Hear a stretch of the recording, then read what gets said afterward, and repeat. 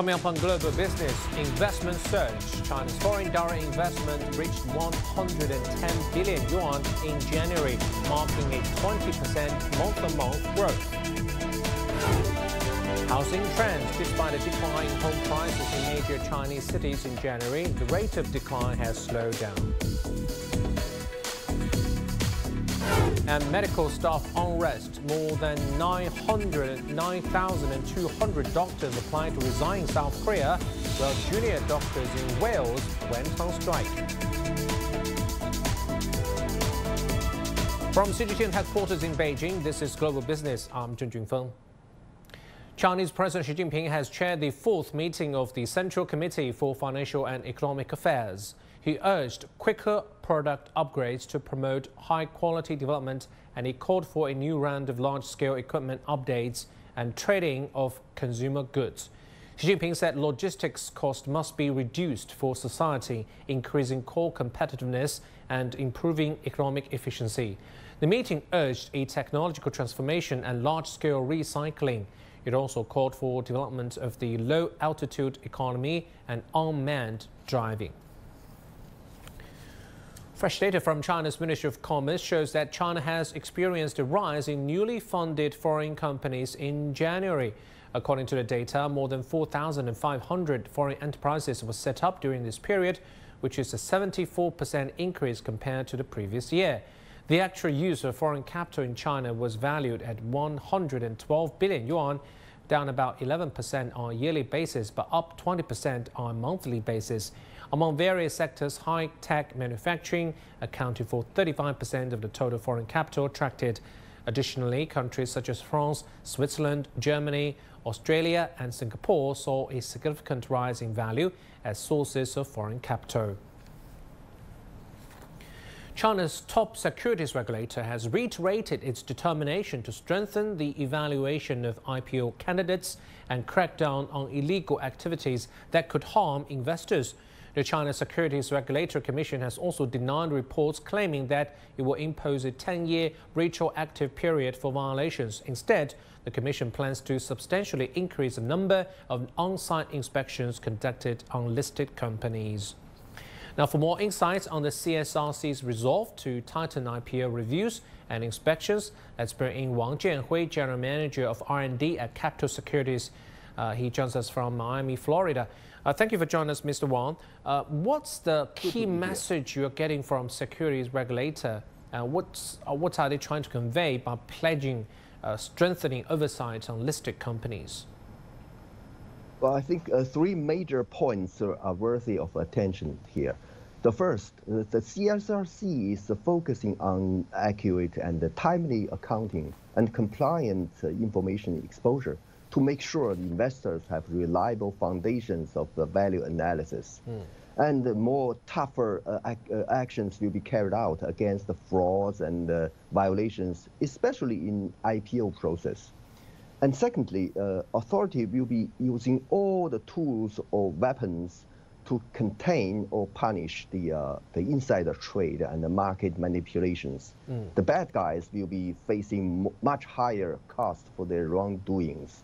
And secondly, the authority also has made clear that their measures or actions are only targeted at those few uh, bad guys. So the majority of the 5,000 uh, listed companies are still the model of, of the uh, corporate, uh, modern corporate governance and um, business operations. Still, they have uh, contributed one fourth, one fourth of the uh, national tax revenues. Back Great. Uh, what are the factors that are driving the recent rebound in the Asian market? We see the Shanghai Composite gaining for the eighth day today. And what's the outlook for the near future? Well, technically, technically speaking, the uh, the 14% surge during the last five, uh, eight trading days is the market corrections to the 9.7% uh, fall between January 26th and February 5th. So the smarter investors just uh, return to the market to pick up oversold shares. And the CSRC, who has launched a series of accommodative uh, policy measures lately, also deserves some credits or even applause for the good market performance. Uh, so far, still, we, uh, we cannot be too optimistic. We still have to wait the Shanghai Composite Index uh, breaking the uh, 3,130 uh, line, which is the 60-day moving average, to confirm the turnaround of the trend in the midterm. Back to you. Okay, I'll remember that mark. 3,130, right? Yes, I'll correct. Mark that, yeah. I'll mark that line. How has the securities regulators' restrictive approach? You just said they're punishing uh, rule breakers, they're punishing the few bad guys, you know, backdoor traders. How does their, the, the regulators' move impact the overall environment? Well, the, uh, uh, the CSRC uh, policy measures or moves are always viewed as significant weather vane to the market. So investors all, uh, usually choose long strategy when the uh, policy environment is accommodative. So, so far the, uh, uh the authority has strengthened the uh, market confidence greatly.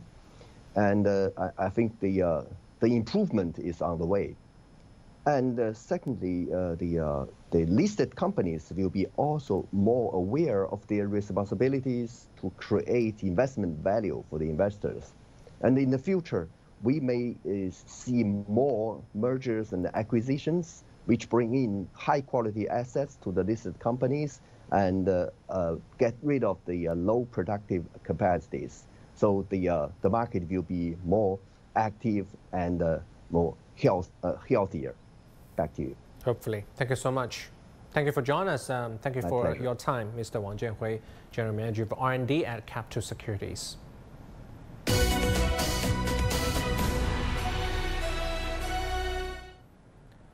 We turn to China's property sector. Home prices continue to cool in May around the country with narrow decline observed in both new home and pre-owned markets.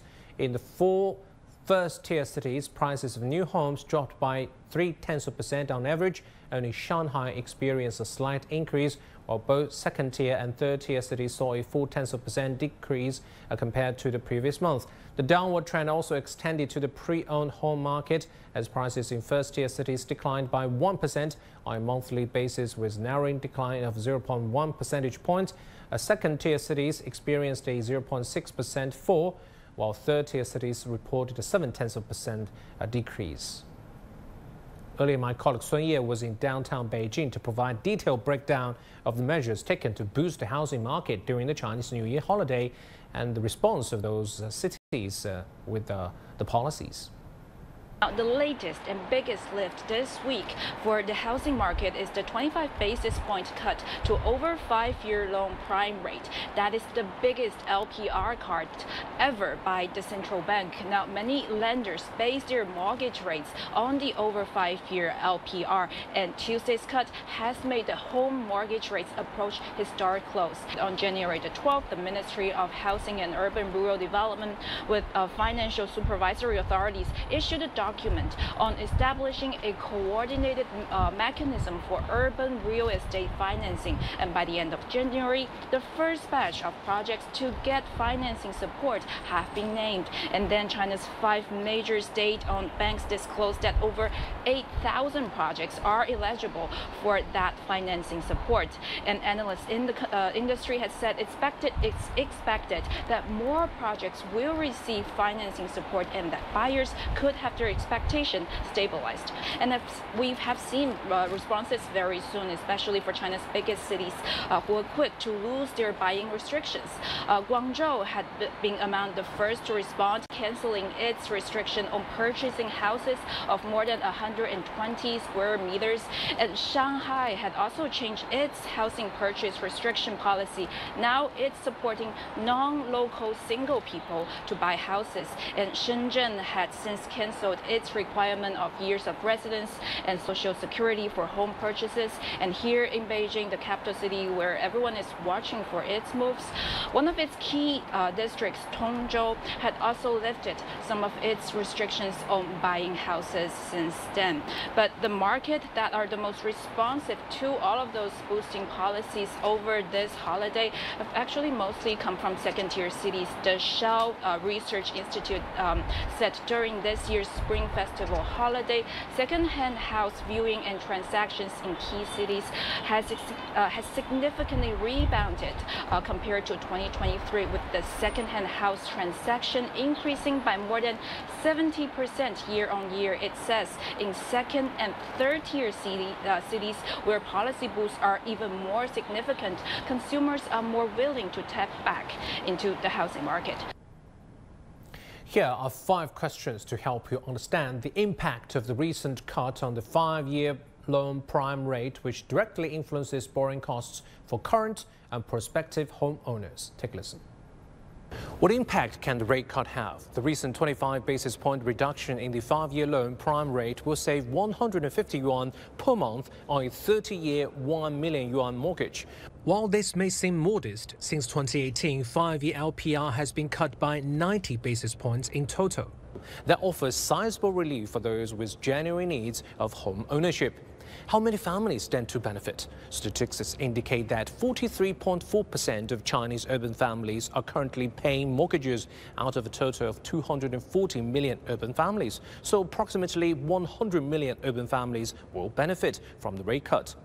What is the total amount of money saved? China's total outstanding mortgages amount to around 38 trillion yuan. The rate cut is projected to save 96 billion yuan in interest payments per year, as estimated by Goldman Sachs. This equals to 17 basis points of household disposable income and will contribute to consumption. What does rate cut reveal about Chinese economy? The rate cut demonstrates the government's determination to bolster the housing sector. The cut also indicates that Chinese commercial banks, you know, those big state banks, are prepared to withstand the effects of lower lending rates. Remember, in 2023, large state-owned banks lowered deposit rates by 65 basis points, ensuring their net interest margins. This proactive approach sets China apart from the situation in the U.S. during the 2008 subprime mortgage crisis. The Chinese central bank governor Pan Gongsheng said last year that the impact of the housing sector's challenges on China's banking system was limited. And why hasn't the central bank cut the one-year LPR? The decision not to cut the one-year LPR this time reflects China's cautious approach. Premier Li Qiang gave a clear signal in the Davos World Economic Forum earlier this year that China won't resort to huge stimulus because that will accumulate long-term risk. However, while no cut has been made now, it does not rule out the possibility of one cut or more cuts later in the year. The U.S. Fed is anticipated to cut rates by June that will narrow the interest gap between the dollar and the yuan. China will have more room to cut one-year rate to support the real economy. When the real economy shows more signs of recovery, this in turn could help restore home buyer confidence and stabilize the housing sector. Earlier this month, China implemented its largest ever cut on the over five-year loan prime rate, reducing it by 25 basis points to 3.95 percent. The move is aimed at stimulating economic growth and providing support to the housing market. Additionally, major cities such as Shanghai have made adjustments to their housing policies, specifically targeting a particular demographic of home buyers. Our Zhang Shixuan has more. Though it was a workday afternoon, this property sales office in Shanghai's suburban Fengxian district was busy talking to house hunters. I've been in Shanghai for a bit more than three years. I'm from Anhui. The favorable policy is well timed for me. I'm not yet married. Previously, I had to pay social insurance for five years, but now it's only three years to be eligible for an apartment, so I want to buy a small apartment for myself. I work nearby. I'm from Henan. Now unmarried individuals from outside Shanghai can buy a home and I don't have to wait for a long period of time. I started looking around for an apartment once I heard the news. This project is new. I want to buy a 99 square meter apartment. Sales opened for this project right after the launch of the new policies in Shanghai, with almost 750 residential units available. On the first day, all terraced houses were sold out. In just two days, the developer received inquiries from around 400 groups of clients. The latest policy change is designed to give a boost to the market in Shanghai's outskirts by expanding who's eligible to buy a home. Now, singles who don't have a Shanghai hukou will be able to buy as long as they've been paying taxes here for three years. Previously, the exemption only applied to families after five years. Shanghai's suburban Fengxian and Qingpu districts now have the most preferential policies for single individuals originally from other areas of the country. Other districts in the city's outskirts still require social insurance or income tax payments for five years. But that's still attractive enough to potential home buyers. Projects in areas like Zhangjiang and Tangzhen in Pudong New Area, Xinzhuang and Qibao in Minhang District, and Gutuan in Baoshan District have become more attractive since they are all outside the outer ring road. Before the launch of the new policies, most home buyers in the city's outskirts were families. Uh, and now, more singles without a Shanghai hukou are coming since they have been paying social insurance for five years, thus generating more home buying demand. They prefer apartments ranging from 80 to 120 square meters. The uh, city government has been adjusting housing policies since the second half of last year and the most recent changes target specific areas outside the city's outer ring road. Experts expect these changes combined with a lowered loan rate to bolster confidence in the market. These areas are promoting industrial transformation and new industrial growth, and they are also struggling to reach a balance between employment and housing supplies. Now, China's lowest mortgage rate is below 4%. In Shanghai, the lowest rate can reach 3.85%. In 2021, cities like Beijing and Shanghai kept the mortgage rate close to 6%.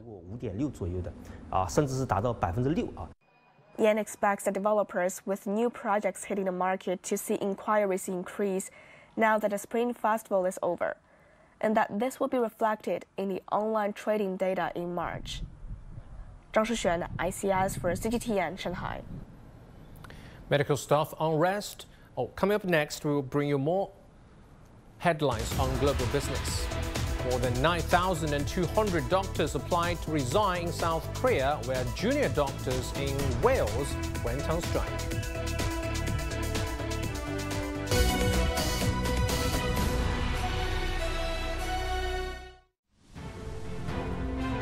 Strengthening the foundation for a future powered by innovation where high technology, high efficiency, and high quality converge. These three pillars are set to propel China's new productive forces and supercharge the Chinese economy into a new era of development, new industries, new models, and new growth momentum. Join CGTN as we guide you through the new productive forces poised to redefine the Chinese economy.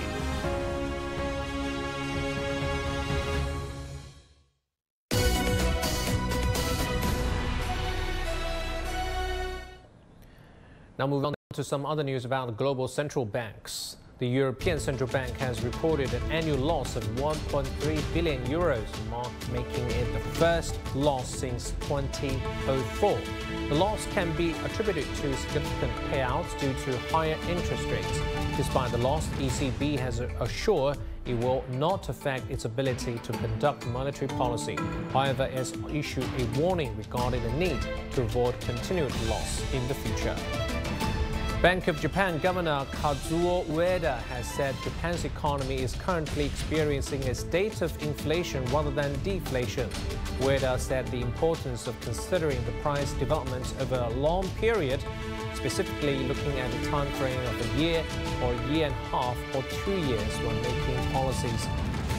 And inflation in Singapore unexpectedly jumped, slowed in January with a year-on-year growth rate of 2.9% compared to 3.7% in December. The slowdown occurred despite recent increase in goods and services taxes. The Monetary Authority of Singapore is set to review its monetary policy, which utilizes exchange rate as its prime tool in April. And in some news on protests by medical professionals from across the globe, more than 9,000 medical interns and residents in South Korea have applied to quit their jobs to, protect, to protest the government's push to recruit more medical students. that accounted for 75% of all doctors in the country's major hospitals. 8,000 of them have already walked off their jobs. Their collective walkouts have caused cancellations of surgeries and disrupted hospital operations. Meanwhile, junior doctors in Wales are walking out for the second time in a row over pay and working conditions. The British Medical Association in Wales decided to bail out to ballot members in August with almost 98% voting in favor of in industrial action. As a major agricultural exporter to the European Union, Morocco insists it respects EU quality standards and legal requirements and that Europe is the a party benefiting more from the trade. This comes as protesting farmers in Spain continue to block roads and attack Moroccan trucks transporting cheaper vegetables, which they say do not meet EU standards. Adnan Chauchi has the details. The Moroccan Confederation of Agriculture and Rural Development, or COMADER, has strongly condemned the attacks on Moroccan produce, describing them as baseless. COMADER also emphasized the good quality of Moroccan produce, saying the country's agricultural exports were strictly in line with all legal standards. Moroccan exporters of agricultural products have been facing a difficult time due to the serious problems with European farmers and not states. It started in France and now it's happening in Spain, where farmers want to close the border crossing of Algeciras, Spain. We reject the claim of so-called unfair competition. Moroccan farmers and exporters respect all European standards in terms of high quality during the production and export process. The European Union is a major importer of agricultural goods from Morocco.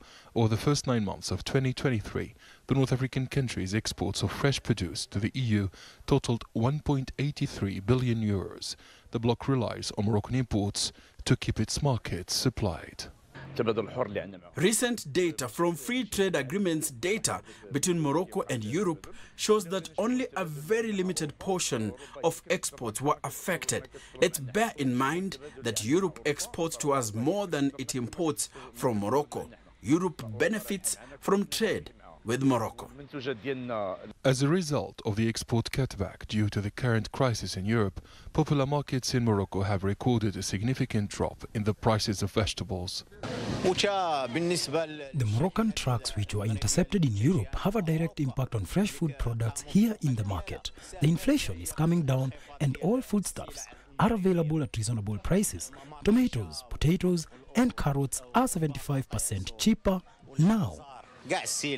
A few weeks ago, French farmers also accused their Spanish counterparts of unfair competition, vandalizing and emptying trucks carrying Spanish agricultural products. Adnan Shawishi, CGTN. The U.S. just landed a commercial mission on the surface of the moon, nailing its first lunar landing in more than 50 years. The robotic probe known as Odysseus successfully touched down near the lunar South Pole on Thursday. It's also the first spacecraft made by a private company to pull off a moon landing. City Chen talks to Jim Head, a professor from Brown University, about the achievement. It's really exciting, nail biting, all the way down to the surface of the moon. And it's not easy to do. So this is a very significant thing. Um, you know, this is a private company. NASA is trying to develop sort of like a Federal Express to space. Okay, you pay the company to take the payload. NASA will pay the scientists to develop the instruments, and then it goes to the moon. It's much cheaper than doing it all through uh, large government entities, et cetera. So it's a great day, a successful mission, um, touchdown, and you know there'll be plenty more. Uh, is this the future? Is this what we can see for the foreseeable future for these trips into space? I think that uh, you know NASA has always engaged uh, commercial entities, business, if you will, uh, to build the spacecraft. The Apollo lunar module, uh, the command module, uh, all these things were built by uh, different companies, okay? And so NASA's always been developing this key technology and the challenges to make them be able to develop these capabilities. But it's it's really to improve uh, the number of people that can work, the you know the economy, et cetera, and that's what NASA's trying to do. So SpaceX, which launched this to the moon, was one of those companies. They got a lot of NASA aid to build the company, et cetera. And now they are, in fact, sending rockets out to space um, and also sending, uh, you know, astronauts up to the International Space Station. So it's a really good plan. Um, and it's, you know, it's good to see it successful in, in having a private company actually design, build, and run a spacecraft mission independent of NASA, except for the funding. What do you hope to see and what will you be looking forward to in the coming days as this all unfolds? Well, I think again the operations. You know, landing is the first step. That's the first step. It means you you you've gotten to your destination. But it's like with the moon. Uh, you know, once the astronauts uh, landed on the surface of the moon for a particular mission, um, you know, that was just the beginning. We had the mission. So people had to, you know, we had plans for traverses, sample collection, deploying instruments, et cetera. So that's exactly what we'll be looking at in the next few days. How successful are they in deploying the instruments? Uh, how, you know, the, the, essentially the meat of the mission, if you will. And, you know, one of my friends from Apollo, David Scott, the Apollo 15 commander, he, uh, we were communicating by email uh, during this thing, and he was kind of comparing it to where they were when they were going around the moon and getting ready to land in the Hadley Apennine region, and it was a real thrill to share that with him too. So he had a good thumbs up for the Intuitive Machines team. I mean, it's been it's fantastic. Definitely, big thumb up for that private company to be able to land a probe on the moon. That will do for this edition of Global Business. I'm Jun Yufeng. Thanks for watching. CGTN continues with more news and views. Stay with us.